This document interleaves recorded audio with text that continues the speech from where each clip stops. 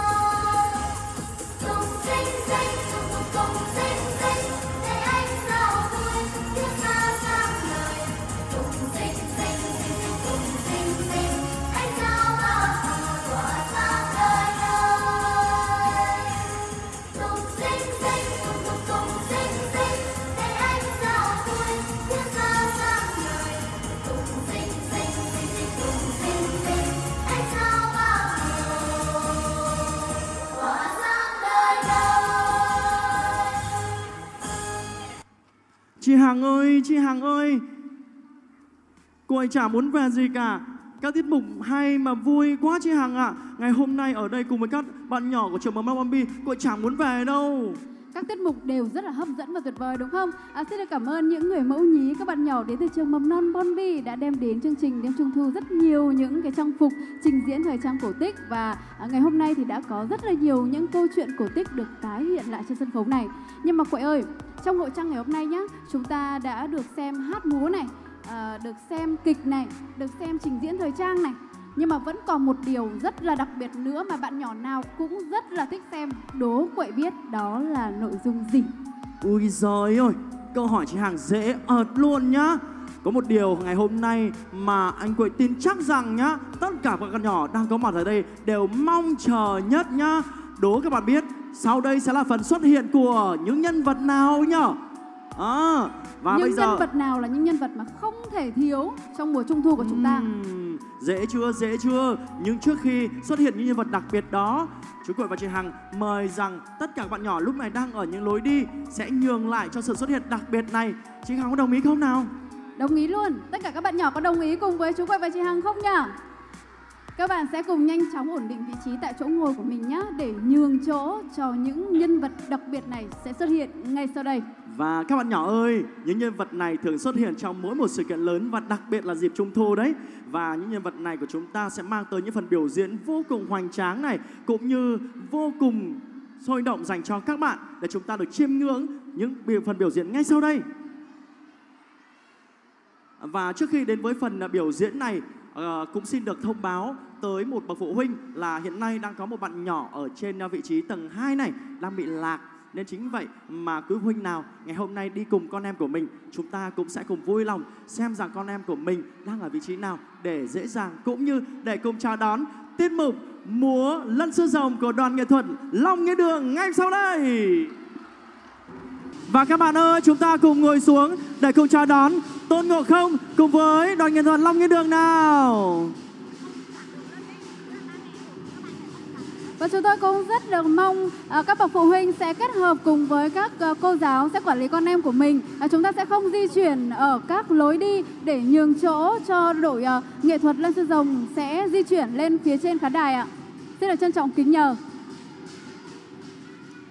Không chỉ là chúng ta được gặp gỡ và giao lưu những chú Lân sư Rồng mà chúng ta còn được chào đón một nhân vật bước ra từ một bộ phim vô cùng nổi tiếng. Các bạn có biết đấy là bộ phim gì không?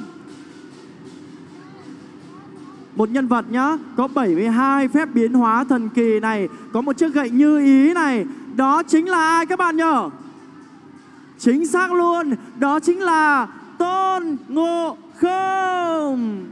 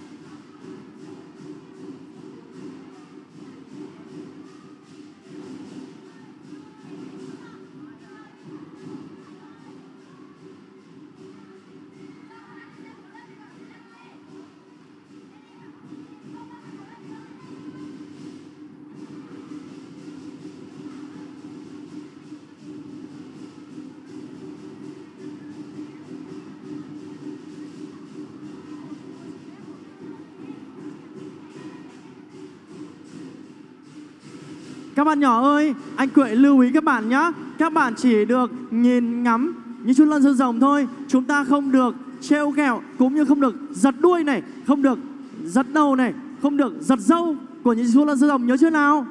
Như vậy mới là các bạn học sinh ngoan nhá chúng ta chỉ được dõi theo thôi và hãy cùng dành những tiếng vỗ tay để cùng chào đón những chú lân rồng cũng như tôn ngộ không xin mời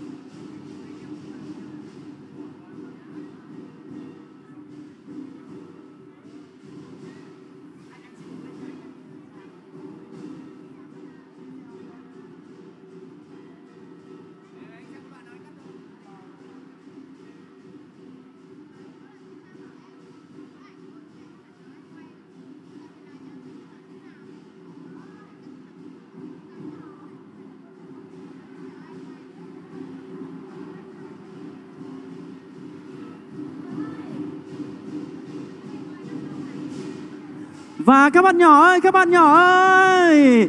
Bây giờ nha Chúng ta muốn lại gần hơn với Lân Anh Quẩy xin mời tất cả các bạn nhỏ. Chúng ta sẽ cùng khởi đứng dậy Và di chuyển ra phía bên ngoài sân lớn Để cùng hòa chung niềm vui Và rước đèn trung thu được không nào? Xin mời. Ra ngoài đó chúng ta cũng sẽ được gần gũi hơn với những chuyên sư lồng. Cùng với đó sẽ được gần gũi hơn với tôn ngộ không và thần tài thổ địa ngày hôm nay cũng đã có ở đây. Cũng như chúng ta sẽ mang lại thật nhiều niềm vui trong buổi tối ngày hôm nay cùng với ông địa nhé các bạn ơi. Và bây giờ xin mời đoàn nghệ thuật Long Nghĩa Đường cùng những chân lân rồng, chúng ta sẽ cùng di chuyển ra sân rộng bên ngoài nào. Xin mời!